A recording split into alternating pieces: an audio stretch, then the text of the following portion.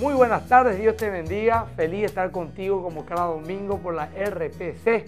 Hoy vamos a tocar un tema precioso que va a traer mucho consuelo a la gente. Y el título del mensaje hoy es Aún hay esperanza.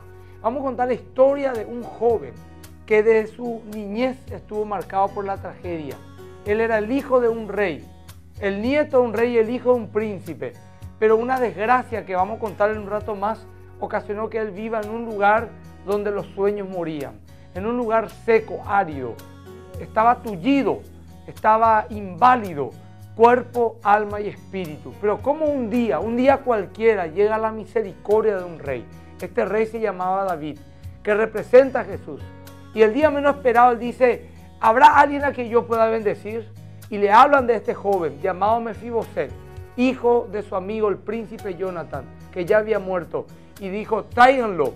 Y empezó a tener un trato de fe, un trato de bendición con este hombre quien aparentemente la vida se había olvidado.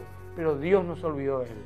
Este es un mensaje recomendado para aquellas personas que dicen, Dios me abandonó, ¿dónde está Dios? ¿Por qué tanto sufro en la vida? ¿Por qué mi vida está marcada por el infortunio?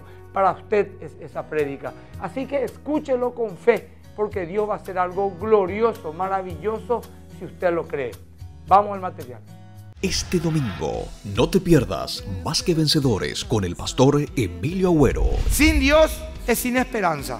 Porque si no hay Dios, no tiene sentido la vida. No tienen capacidad de poder lograr aquello que Dios le pidió que hagan. Porque están con traumas, heridos, lastimados.